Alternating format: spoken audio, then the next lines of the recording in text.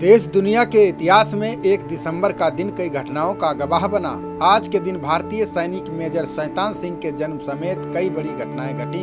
हम आपको अपने चैनल के माध्यम से इन घटनाओं की अहमियत से रूबरू करवाएँगे। 1640 में आज ही के दिन स्पेन से 60 वर्षों की गुलामी के बाद पुर्तगाल स्वतंत्र हुआ था। भारत के प्रसिद्ध स्वतंत्रता सेनानी, शिक्षाविद, पत्रकार और लेखक काका कालेलकर का जन्म आज ही के दिन अठारह सौ पचासी में हुआ था। भारत के सच्चे देशभक्त, क्रांतिकारी पत्रकार और समाज सुधारक राजा महेंद्र प्रताप का जन्म आज ही के दिन अठारह सौ छियासी में हुआ था। भारत के प्रसिद्ध क्रांतिकारियों में से एक अनंता सिंह का जन्म आज ही के दिन 1903 में हुआ था। परमवीर चक्र से सम्मानित भारतीय सैनिक मेजर शैतान सिंह का जन्म आज ही के दिन 1924 में हुआ था। प्रसिद्ध भारतीय चिकित्सक गुरु कुमार बालचंद्र पारुलकर का जन्म आज ही के दिन 1931 में हुआ था। आज ही के दिन 1933 में कोलकाता और ढाका के बीच विमान सेवा की शुरुआत हुई थी। भारत की प्रसिद्ध समाज सेविका मेधा पाटेकर का जन्म आज ही के दिन उन्नीस सौ चौवन में हुआ था। आज ही के दिन 1955 में अमेरिकी राज्य अलबामा में एक काली महिला को इसलिए गिरफ़्तार कर लिया गया था क्योंकि उन्होंने बस में अपनी सीट एक गोरे आदमी के लिए खाली करने से इनकार कर दिया था। उन्नीस सौ उनसठ में आज ही के दिन अंटार्कटिका के शांतिपूर्ण वैज्ञानिक इस्तेमाल के लिए बारह राष्ट्रों ने संधि पर हस्ताक्षर किए थे। आज ही के दिन उन्नीस में नागालैंड को भारत का सोलवा राज्य बनाया गया था।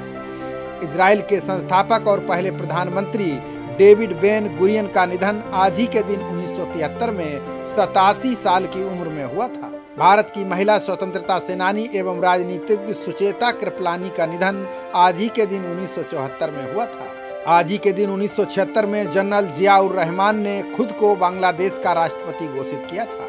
भारत की प्रसिद्ध स्वतंत्रता सेनानी, लेखक और गांधीवादी चिंतक दादा धर्माधिकारी का निधन आज ही के दिन उन्नीस सौ पचासी में हुआ था। आज ही के दिन उन्नीस सौ सतासी में अफ़गानिस्तान के नए संविधान के अंतर्गत डॉक्टर नजीबुल्लाह को राष्ट्रपति निर्वाचित किया गया था। 1988 में आज ही के दिन पाकिस्तान में आपातकाल की समाप्ति के बाद राष्ट्रपति गुलाम इसहाक खान ने बेनजीर भुट्टो को प्रधानमंत्री नियुक्त किया था। भारत के पहले प्रधानमंत्री जवाहरलाल नेहरू की बहन तथा महिला स्वतंत्रता सेनानी विजय लक्ष्मी पंडित का निधन आज ही के दिन 1990 में हुआ था। आज ही के दिन उन्नीस सौ बानवे में दक्षिण कोरिया और दक्षिण अफ्रीका के बीच राजनयिक संबंध स्थापित हुए थे। वर्ष 2000 में आज ही के दिन संयुक्त राष्ट्र सुरक्षा परिषद ने तालिबान पर शस्त्र प्रतिबंध का समर्थन किया था। आज ही के दिन 2001 में अफ़गानिस्तान कंधार एयरपोर्ट पर तालिबान विरोधी कबालियों ने कब्जा कर लिया था। 2002 में आज ही के दिन ऑस्ट्रेलिया ने इंग्लैंड से लगातार आठवीं बार एसेज टेस्ट श्रृंखला जीती थी। आज ही के दिन 2007 में चीन के सान्या में आयोजित मिस वर्ल्ड प्रतियोगिता में चीन की इलांग जी लिन को मिस वर्ल्ड का ताज पहनाया गया था।